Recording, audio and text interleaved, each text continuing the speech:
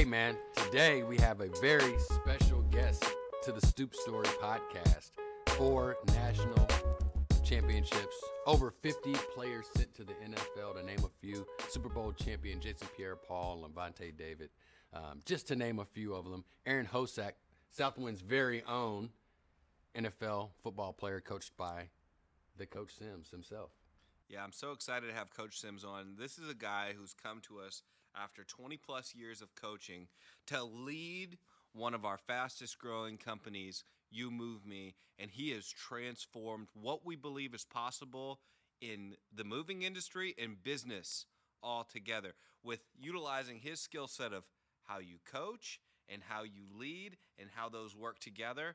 And it doesn't matter if we're on a football field or we're in a conference room, this guy has got what it takes and is doing some incredible stuff here at Southwind. So excited to have him on the on the show. Hey, Coach Sims. Thank you guys. I'm I'm really excited about being on here. I've, I've watched your episodes. Um, I've learned from your episodes, and that, that's helped in the transition of going from being a coach to to being in business. And uh, you know, so it's my pleasure and honor to be here.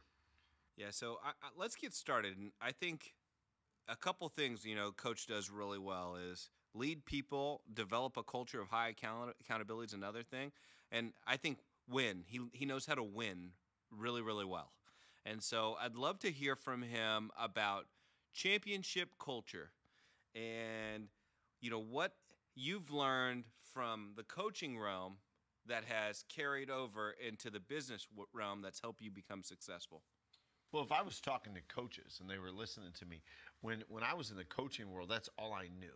All right, so um, you know, I I learned from great people. Uh, everything I ever did in coaching, if if you came in and said, "Why do you do this?" I literally could direct. I learned that from Terry Nolan. I learned that from John Frangulis. I learned that from Carl Bowser. Um, in in uh, coaching, I would steal from other coaches in, in, as a form of flattery, and that I was really good at it going. Okay, that'll help our program. That'll help our program. Even even to the extent uh, how we would do squats in the weight room. I would learn that from a high school when I would go recruiting. I'd I'd always be looking at different programs and how they did it, and that was the coaching world.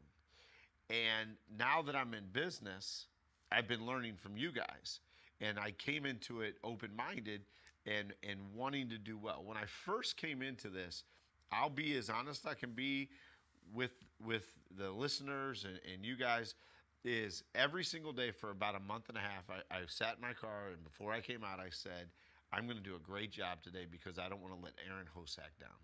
That was that was my teammate. Okay, that was my family, and I was scared. Would I like it? But I knew I was going to do a good job. And so I came in and I would do a good job. And at the end of the day, I would leave and I was like, wow, I, I really enjoyed that. And I enjoyed it because I was learning stuff. There was times in football that it was very uh, Groundhog Day-ish. Is, you know, I could tell you what we did, you know, on April 7th. I mean, we, our habits created our culture, so we were good because we were very consistent in what we did. But after 20 years, sometimes it got a little bit stale. And if I was asked why we were successful, there were times that we won three games and sometimes that we won championships. I wouldn't have been able to answer that before I got here. And now that I'm here, I could give you the answer, and it's alignment. The difference between a successful program and an unsuccessful program is alignment. Everywhere I've been, we did things that we felt would put us in a position to win and and I promise you, every single day as a coach, I got up to help my students become college graduates, to become the best football players they could be, and to be better in life. The problem was the direction I was driving was the administration doing that, and were the students doing that. And as a leader, it's not enough for you to want to do it. You have to figure out how to get everyone to want to do it. And when we were able to get everybody on the same page, we were successful because we are very hard to beat, but me is really easy to beat. Alignment. That's the one right there. Yep. Tell them about it. Man, it's the it's it's challenging, right? And once you can crack that code, everything becomes possible. So speaking of alignment, at one point you were aligned with Aaron Hosack, and that was why you were here. Um, why don't you share with the listeners what you're here for now and when that shift occurred. Well, you know, the the, the thing about it is, is in I, I'm going to be 49 this year, and, and we're all products of our environment. We we you know uh, we speak English because we grew up in America. You know that's why we speak English. So I am who I am because of the things that I've learned throughout my life, and the one thing that I, I hold really true is that actions speak louder than words. Uh, when we talk about where you learn things, I learned from Kenny Lawler that um, what you do speaks so loudly, I can't hear what you say. Okay, and that's a quote that he used to always, you know, pound in, and, and I really believe that. And the truth of the matter is, is from the day I got here to this moment, the actions of Southwind have uh, superseded or extended past. I don't know the exact word I want to use, but just have have led to championships. This is a championship culture. This is a place that wins, uh, it, it, and it's fun to be a part of. And and you know, I think in coaching, all you really want to do is get up and, and work as a team. And what really gets frustrating is when you get up and you try your absolute best to accomplish something, and nobody's rowing the boat the same direction you are. And and here why I enjoy it so much is because I feel like we're all rowing in the same direction. And uh, we're very, very aligned at Southwind, and, and, and we're trying to make sure we're aligned all the way to our, you know, our farthest franchise. You know, the, the thing I talked to our group in, in You Move Me about today was we all know the story of John F. Kennedy uh, visiting NASA, and he stopped and talked to the janitor, and asked the janitor, "What's your job here?" He said, "To put a man on the moon." Mm-hmm. That's how you put a man on the moon. Like, like that janitor understands that his role is so vital. It is so vital, and and in championship football programs, in championship basketball programs, and I believe in championship businesses, everybody understands and appreciates their role and feels valuable within the corporation. You know, I love that story about John F. Kennedy, and I was just reading recently about about that very thing, but in a different context. You know, in this book, and, I, am not, I can't recall which one it was because I'm in the middle of like three right now, but um, he was talking about John F. Kennedy and the purpose of putting a man on the moon. Do you realize what the purpose was? It wasn't to go to the moon, it was to show progress. It was all about people in that day and age in 1960 feeling like we were doing something special. We were showing progress. So we you know what we're to do? We're to go to the moon and we're to do it first. Because somebody's going to move, somebody's showing progress and it's to be us. So I want you to relate that here. You know, what's the progress that you see in your current life because being a coach for 20 plus years, the goal was to win championships. So what's the goal now? Well, since I've gotten here, um, for about the first month and a half, I was trying to decide is this the right thing. And in, in all honesty, I was probably rooting against it sometimes because because here's the scary thing, you know, my wife really has the, a quote from my wife is we should have done this ten years ago, you know, and and and so while the last ten years have been wonderful, I I I I wouldn't have been at Garden City, I wouldn't have you know, had the opportunity to go to Missouri Southern and, and put together a fantastic staff and, and, and, a great team, you know, you look back and you're like, you know, was the last 10 years valuable? You, but you sit there and go, wow, what if, where would I be today if I would have made that choice then? And so I've called multiple of my friends and coaches and talked to them about opportunities that we have. And we've had some of my uh, former colleagues join us. And, and uh, the common trait I get when I call them is they don't they go I don't know if I know how to do anything else. And that is really hard for athletes. It's hard for them on a lot of levels because you you you went through college probably because you were a good football player. And then you went into the graduate assistant program and then you were the receiver coach and then you were the OC, then you were the head coach. And you've had success your whole life since you were 5 probably in athletics. And to step out of your comfort zone and try something different is really, really difficult. And I've done that. And it's not even comparable. The the, the the the life chances and the opportunities and and the joy and and you know financially, it's it's it's it's laughable the comparisons. Um, the mood, you know, I was at every day in football is a competition. So every day you're you're you're you're attacking everything. Where we do it here too, um, but it's not a hundred meter dash. Okay, it, you have to be consistently consistent here.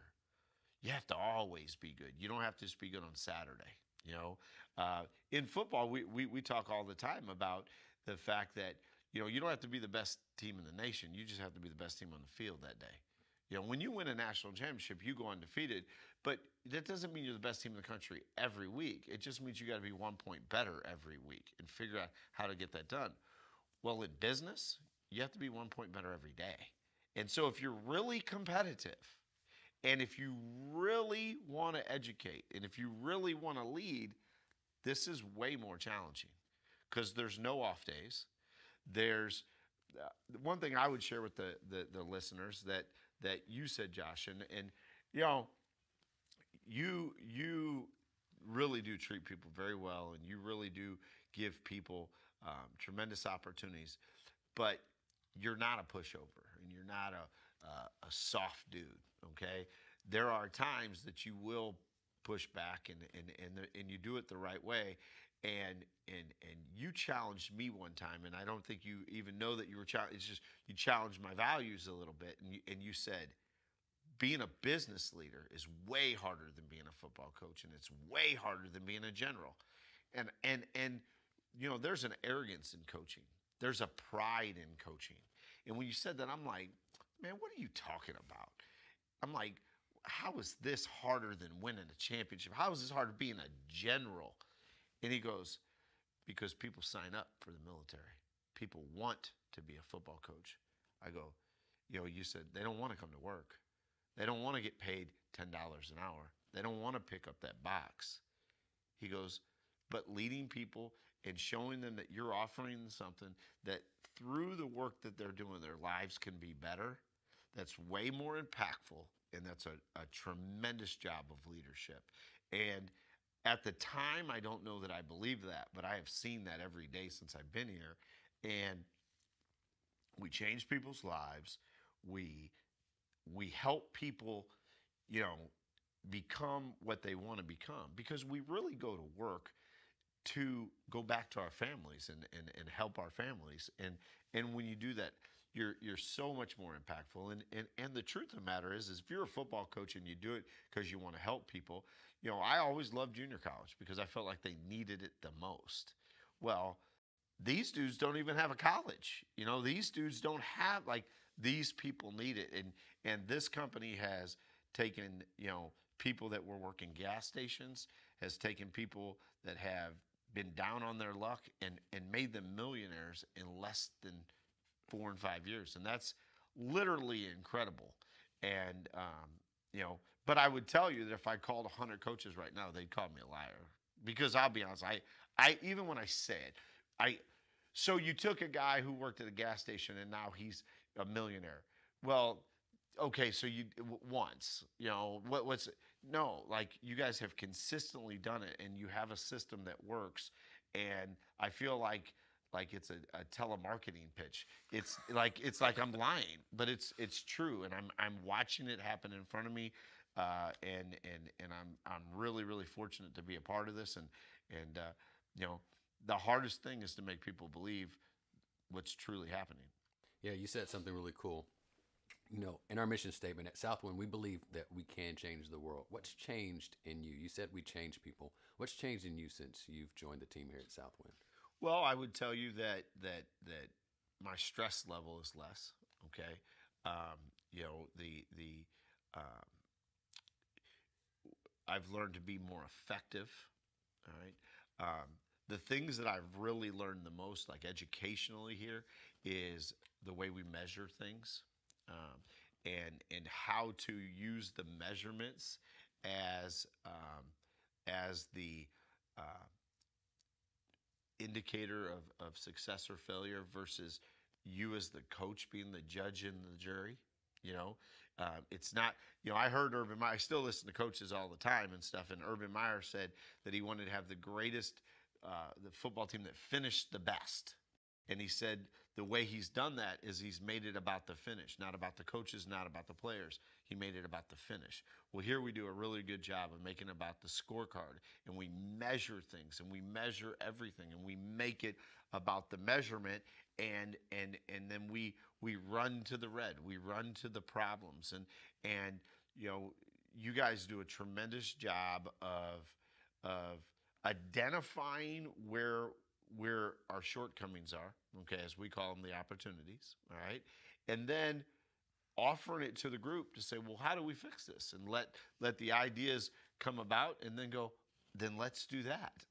You know, like why don't we just do that then? And so so uh, you know, just as simple as, you know, we need people. Okay, well, we need people. How do we get people? Well, first, we want to keep the people we have. So, how can we keep the people we have? Well, we make it a better environment. You know, we, we treat people better. We, we, we, you know, create an environment where we can succeed. And, uh, you know, I just, I just feel like that there's a lot of growth here and, and, and, and, and, and it's, it's, it's true. It's really happening. Yes, I, I appreciate all of, you know, you're telling the truth but giving compliments at the same time. And, but you said two things I want to, well, you said one thing that I think I have two questions about. So, First off, the belief in the opportunity of what we're providing. That's a real thing. Um, you know, people wouldn't believe, and this is kind of the second part, that the biggest problem that you have is you have too many customers. is that uh, something that you realized or you thought was going to be the challenge in this in this space? Well, I will tell you a couple things. You, when we compare sports to business, that one of the things I really like about business is we say we're competitive in in sports. So the coaches are competitive.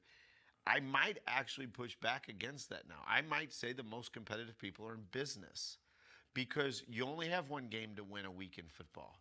Where every single day there's there's trillions of dollars out there to go pick up. And they're there for whoever wants them. In in football you have one game a week or 10 games a year and this and that and you know and and I never thought, and and and I, I swear we sound like a, a telemarketing deal because because you would never believe this. You'd watch it and you go, those guys are lying. There's more money out there than we can pick up right now. We literally have more jobs, more opportunities to get money than we can get right now. We just cannot fill our positions to go pick up the money. People are wanting our services and we are saying no. And it's one of the most frustrating things I've ever dealt with in my life because because I I grew up with not a lot. I grew up in a family we didn't have my mom's a hairdresser and she's a hardworking person and and and and you know we needed things. And the fact of the matter is is there's more money out there than we can pick up right now. And we could literally hire I mean, right now, um, you know, we hold the record, and I'm, and I'm proud of this, that, that, that, we've set the record in the highest uh, revenue month in the history of You Move Me in the entire franchise system uh, of $780,000 that we made last month. Starting this month, we were over 600. We could project to easily hit 1.2 million dollars this month, and we basically said, that's too much money. We can't we can't do that much. We're not, we're going to pull back, and we're only going to do you know eight to nine hundred thousand dollars because if we if we try to do the one point two, our people just cannot physically work that much, and literally we're turning down three hundred thousand dollars a month right now, and and and every day I'm trying to figure out because the the reality is I would tell you this is Josh is you know you own you know, 13 junk businesses. And, you know, you, you know, you drive a beautiful car out there and you, you, you employ all these people and, and, you know, people go, well, what do you do? I pick up people's trash. you know, I mean, that's, that's what I do. And, and, and the fact of the matter is, is you make more than doctors and lawyers. And like, we literally can make millionaires here if people will come and help us move boxes All you know, that's the, the one of the things that blows my mind is our most successful businesses right now are junk businesses where they go and they pick up people's trash. Well, we should be the most successful business. We go into a nice house and we pick up a nice item and we take it and protect it and go put it where they want it. And they pay us a lot of money to do that. And we just can't get enough people to do it right now. And if we could get enough people, we could go from 1.2 million dollars a month is is is I mean, I don't see why we couldn't do 12 million dollars a month with 10 locations and the, the opportunities endless. And that's the hardest thing right now is is the frustration that we could do more and we just literally can't go out there and get it. Yep, biggest most most customers, excuse me, most companies' biggest problem is uh, like customer acquisition. How do I get more customers? Uh, we're like, dang, we got all these customers. How how do we get how do we uh, get more people so we can serve our customers better? And uh, that's where we are right now. You know, I, love having coach on, on the team because I believe you're a realist. You see things and say things the way they are. I.e., we were just in a meeting and you told the dude, uh, dude has a broken bro. Did we do this or you, you know like every single day you say the truest stuff that I've uh, you know that just about anybody says. And but I I do hear you when you talk about what we're doing. If there's a bit of a lack of belief, you know, we our business was up over 100 uh, 100 plus percent last last month in a pandemic, and we continue to gain people, but the uh, gain revenue. But the reason is because of the great people like you and the other leaders. And this is such an op- uh, such an awesome opportunity to bring new people into the business and allow them to, you know, truly live out their dreams of changing people's lives. I believe football coaches they love the sport, right? And they get into it because they love the sport and they end up changing people's lives through the sport, uh, through the kids that they get to empower or the players they get to coach. So, coach, we've said a lot of stuff about what you believe. You know, LaDrew, what do you believe to be true about about what we're building and how coach fits into the Oh into man, the organization? without a doubt. What I believe is that And, and just a side note, LaDrew was a teacher first before he came here. Teacher and coach. education. Ma- uh, master's degree, without a doubt. uh, all of that stuff, and then he came to work at a junk company as well. Yeah, I, I go back to the days where Sims didn't like me, and he says, "Man, Josh is gonna make me have a meeting every week with Drew and I have, have all these nudges and collisions." You know what it boils down to is it's really difficult to create that belief because people are too cool to get off the stoop. Mm, they're too they're too cool to believe in the opportunity that's actually real. They'd rather believe in something that's not to allow themselves Mm, Too to cool. minimize themselves, give themselves cosign their own ignorance and say, "Hey, I'm going to minimize myself by not believing. I'm just too cool." And I remember when I was on the stoop, man, I thought I was the coolest guy out. You know, I had the, the best outfit. You know, I had my buddies with me to validate the coolness of it. Um, and I think that, you know, like that's the opportunity, right? And, and we've talked about that. Too cool to be rich is actually what I said to you. Yeah, most people are. And, you know, what would you say to people listening that are trying to ultimately change their life and become who they wish they were? Before you answer that, coach, I remember you saying, I call my friends and I tell them about this opportunity. And he goes, and you said something about there just being cachet in coaching that even though the money's not very good and the the balance of, from a work life standpoint is not very good, the coolness is why people stay. Sure, absolutely. They they think being a football coach is cool. Now they won't say that, all right.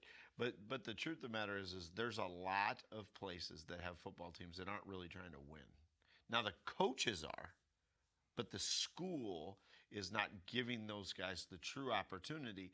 And those guys want to be in the game and they and they believe that they can win a championship and this but but they're not living in reality is is the fact is you know you're not in a position that you can really be successful. And that's what's fun about being here. And I'm not saying that football coaches should quit their job of football and go get another job in business. It's really like being a football coach. You know, when I was first hired at Fort Scott Community College, the first six months there were miserable, miserable. And they had only won 11 games in the previous five years. And I would tell you that after six months of working there, that I would have agreed with every coach that was there prior to me about why they lost. The school was not aligned on why football was important, why it was important to bring students there, graduate them, win a championship, do those things. Fortunately, one of the things that was different between me and my predecessors was my president changed. Okay. Now, the president that hired me was a very good man, and he had the foresight to hire me, but what it took to win a championship was not something he was willing to do at that school. And he didn't see it as a possibility at that school, or for us to be successful there, it was just going to cost too much. All right. He leaves, a new president comes in, Dr. Clayton Tatro, and says a college is known for the buildings they build and how their president, their, how their football team does. So I want to help support you and give you what you need to be successful. And he gave me the opportunity, and then we grew, and we ended up being a championship program. Here at Southwind, you give us the platform and the structure to be successful and to win championships. And that's what I would say to my friends in coaching is are you someplace that has the opportunity to win? I coached against the University of Alabama and it was one of the most impressive things that I've ever seen in my life. And when I was standing on the field, I looked up and they had this electronic banner going around, and it said, Some people play football, we live it. And you need to understand that if you want to win a national championship at Division One football, you can't play it. You got to live it because Alabama's living it. All right. At Southwind, I really believe that we're winning because we're we're living a culture here that leads to success. We're not just getting up and going to work. We're not clocking in and we're not clocking out. Like, we really do feel like this thing is special.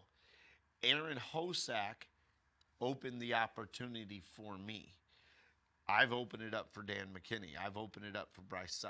I've opened it up for Alec Weddick. I've opened it up for Tim Arno. And thankfully, they heard me. Um, you know, I've never said this to you guys. I think almost every single day how I can get my wife to work here. Okay? My wife is a doctor. She has her doctorate in education, and probably 80% of the employees make more money than her here. You know what my bet is? She's probably the better Sims. Let's oh. make that happen. you give me her number after this, I'll shoot her an email. And, and my, but my point is, is if she went out and you met her, She's got her doctorate. She works in a college. She runs a program that does really, really impactful things for people. But she's not paid what she's worth. And that's not her husband talking, that's her looking at her resume.